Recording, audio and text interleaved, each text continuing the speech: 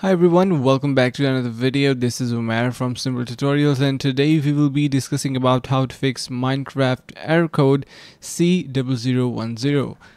Now before we dive in, there's a link in the description that you can use to simply donate to our channel so that will be highly appreciated. Here we have this fixed. the first one is going to be simply switching Wi-Fi connections. So sometimes this could be causing an error. So make sure to restart your router.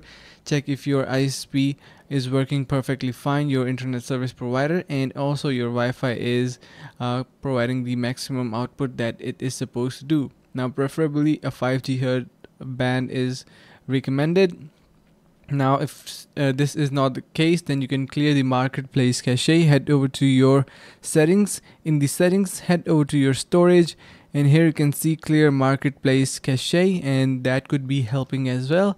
Now you can also uninstall and reinstall the game. If you have some extreme scenarios and nothing seems to be working out then you can simply reinstall the game and try that out or or finally you can await situations improvement. So you need to wait for a further patch that is released by the game or the launcher that you're using and that might automatically be fixing up the issue. So i hope this video was informative if it was in any certain way. You can consider subscribing to our channel.